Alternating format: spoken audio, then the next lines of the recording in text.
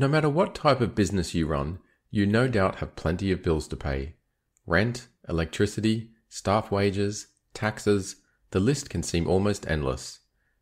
Normally, when a bill is due, you pay for it with money you have in your business bank account. But what if you have a large bill coming up, your bank account is empty, and you don't have access to an overdraft or credit card? Should you sell some of the shares you own on the stock market?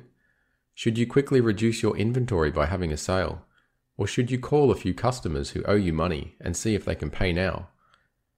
While you may not have access to all of these options, depending on what type of business you run, there's probably at least one way you can get some money into your bank account fairly quickly by converting something called a current asset into cash. You see, all of these things cash at bank, stocks or shares, inventory, and accounts receivable are current assets.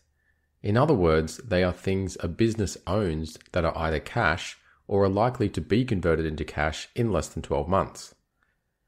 A full list of current assets would also include prepaid expenses and any other short term investments that can be quickly converted into cash.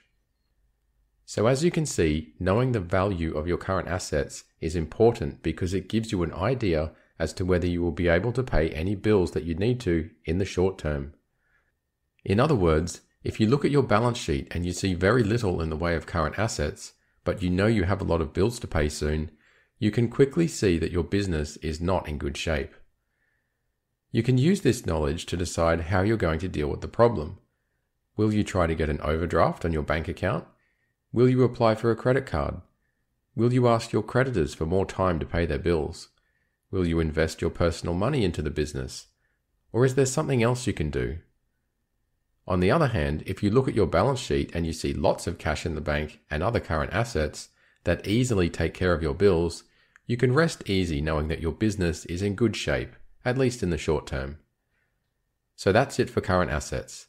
To find out what a non current asset is and what the difference between current and non current assets are, check out the links to our videos in the description below.